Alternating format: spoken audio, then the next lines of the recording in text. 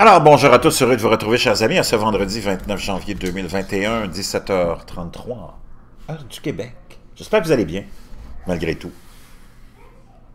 Pour ceux qui s'inquiètent, ou qui s'inquiéteraient de la disparition de l'hiver, hein, de nos beaux hivers et la disparition de la neige, ben, ah, parce qu'on nous avait annoncé ça depuis longtemps dans les, euh, sphères de la prédiction euh, scientifique et des médias hein, qui ont euh, allègrement euh, pompé tout ça à l'hélium.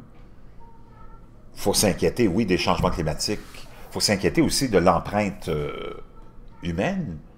Mais de là à aller jusqu'à prétendre que les enfants devraient aller dans des photos, d'albums photos, Souvenir pour voir ce qu'est la neige, je pense qu'on avait un peu exagéré, ou en tout cas, on a devancé un petit peu l'agenda. Hein. On nous avait annoncé ça pour, depuis longtemps. L'Écosse devrait plus voir de neige, plein de pays devraient plus voir de neige. La neige serait une histoire du passé. Ben, imaginez-vous, on est en Californie, et on, on s'attend à des pieds de neige le long du tronçon de la Californie. La tempête pourrait produire des pieds de neige, nous apprend NBC.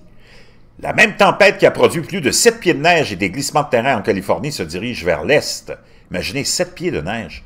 Il pourrait faire tomber de la neige importante de Chicago à New York, donc en Californie. Il y a eu une tempête incroyable qui a laissé euh, à peu près 7 pieds de neige. Vendredi, les avis de refroidissement éolien étaient à la hausse pour 7 millions de personnes pour des refroidissements éoliens dans, l'intérieur, euh, éolien, dans l'intérieur du nord-est avec euh, des prévisions de chute à 20 euh, sous zéro. J'ouvre une parenthèse, j'ai eu des commentaires, un entre autres d'un abonné sur Facebook qui me disait ah, Tu fais des. Euh, on dirait que tu fais des bulletins météo. Euh, non, je sais pas des. Quand je vous parle de tout ça, puis je vous rapporte tous les événements, je ne le fais pas dans l'esprit d'un bulletin météo. Vous n'avez pas besoin de moi pour ça. Vous avez toutes les Miss Météo du monde disponibles pour vous pour ça. Moi, ce que j'essaie de faire, puis ce que je vous amène, puis ce que j'amène aussi à réflexion, c'est l'intensification, l'importance de certains, euh, euh, comment dire, euh, certaines tendances, tiens, météo, certaines tendances climatiques, pour savoir, pour essayer de comprendre vers où on s'en va. Vers quel modèle aussi, c'est quelle tendance de modèle dans lequel on est. Parce que quand on essaie de comprendre si on s'en va vers un grand minimum solaire ou non, faut prendre en compte tout ce qui se passe et tous ces événements-là mondiaux. Et c'est dans cette optique-là que je le fais. Je ne le fais pas pour vous rapporter des, euh, des, euh, des, nouvelles météo. Je le fais pour qu'on aille avoir une réflexion ensemble sur ce qui se passe et pour comprendre si c'est normal ou si on s'en va vers un autre modèle climatique ou si on s'en va vers un grand minimum solaire. Donc, c'est dans cet esprit-là que je le fais.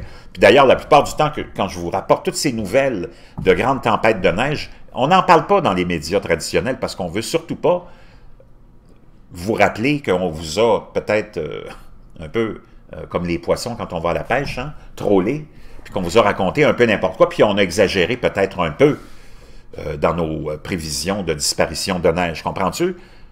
Donc, c'est dans cet esprit-là que je le fais. Donc, on a eu une tempête extraordinairement puissante qui a laissé beaucoup, beaucoup de neige en Californie. Des pieds de neige. Donc, c'est dans ce sens-là, quand je vous rapporte ces nouvelles-là, c'est comme ça que je le fais. C'est pas pour vous faire un bulletin météo.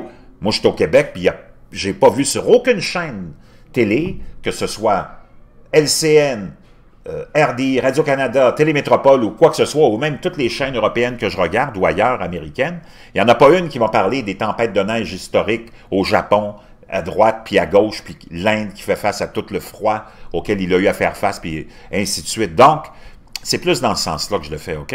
Une puissante euh, tempête hivernale frappe le nord de la Californie, entraînant des pluies torrentielles et des fortes chutes de neige en montagne. Jusqu'à 14 pouces de neige ont été enregistrés dans la région de Tao.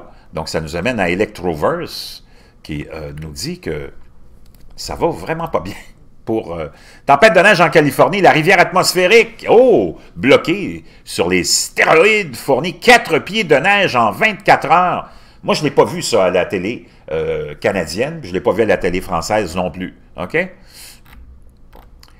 les prix des légumes en Chine ont atteint des niveaux records en raison d'un hiver historiquement froid. Ah ben tiens, tiens, tiens, tiens, tiens, on est en Chine, puis un hiver historiquement froid. Ce type de temps froid et givré a un impact important sur la production et la croissance des légumes, leur période de maturité et leur euh, rendement. La tempête de neige record de Madrid, 26 janvier, hein? un demi-million d'arbres ont été affectés. Euh, euh, ne voyagez pas, la majorité des couvertures de neige épaisse en Grande-Bretagne, des avertissements, un nettoyage record de chute de neige tu près de 100 personnes. Au Japon, 25 janvier, la Mongolie souffre de l'hiver le plus extrême jamais enregistré. Ça continue, ça continue, ça continue. Donc, c'est dans ce sens-là que je voulais vous rappeler ça, qu'on n'a pas à s'inquiéter. Euh, l'hiver, ben oui, il est encore là. La neige aussi. C'est pas demain matin, la veille, que ça va disparaître.